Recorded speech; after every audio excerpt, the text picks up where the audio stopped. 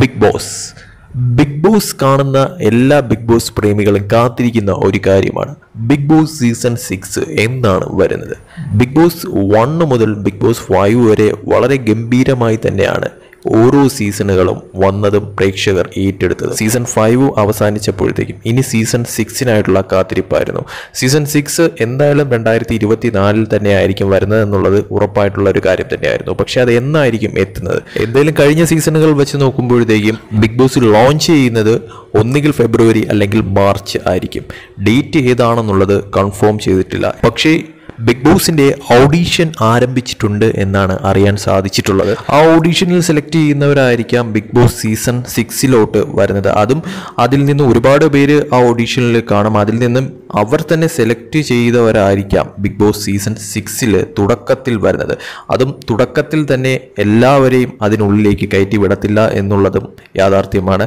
ഓരോ ഇതായിട്ട് അതായത് വൈൽഡ് കാർഡ് എൻട്രി ആയിട്ടും മറ്റും ഓരോരുത്തരെ അതിന്റെ അകത്ത് കയറ്റാം. എന്തായാലും കഴിഞ്ഞ ഒന്ന് മുതൽ നാല് സീസൺ വെച്ച് നോക്കുമ്പോഴത്തേക്കും അഞ്ചാം സീസൺ വ്യത്യസ്തമായി കണ്ട ഒരു കാര്യം കോമണർ എന്ന് പറഞ്ഞുകൊണ്ടുള്ള ഒരാൾ ബിഗ് ബോസിലേക്ക് കടന്നു വന്നു. സാധാരണ ബിഗ് ബോസിലേക്ക് കടന്നു വരുന്നത് സെലിബ്രിറ്റി ആയിട്ടുള്ള ആളുകളോ അല്ലെങ്കിൽ വേറെ ഏതെങ്കിലും മേഖലയിൽ കഴിവ് തെളിയിച്ചവരോ സോഷ്യൽ മീഡിയയിലൊക്കെ ആ ഒരു തരത്തിൽ വൈറലായിട്ടുള്ളവരോ ആയിരിക്കാം. പക്ഷേ ഇതൊന്നും അല്ലാതെ തന്നെ കഴിഞ്ഞ പ്രാവശ്യം കോമണർ ആയിട്ടുള്ള ഒരാളെ ജനങ്ങൾ തന്നെ വോട്ടിട്ട് സെലക്ട് ചെയ്തുകൊണ്ട് ബിഗ് ബോസിനകത്തേക്ക് വന്നിട്ടുണ്ടായിരുന്നു.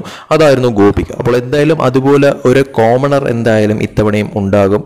അത് മാത്രമല്ല ഓൺലൈൻ വഴിയും ഓഡീഷനിൽ പങ്കെടുക്കാനായിട്ട് അപേക്ഷിക്കാമെന്നാണ് അറിയാൻ സാധിച്ചിട്ടുള്ളത്. ഈ ഷോയിൽ പങ്കെടുക്കാനുള്ള ചില മാനദണ്ഡങ്ങൾ എന്ന് പറയുന്നത് ഈ ഷോയിൽ പങ്കെടുക്കുന്നയാൾക്ക് പതിനെട്ട് വയസ്സോ അതിൽ കൂടുതലോ പ്രായമുണ്ടായിരിക്കണം.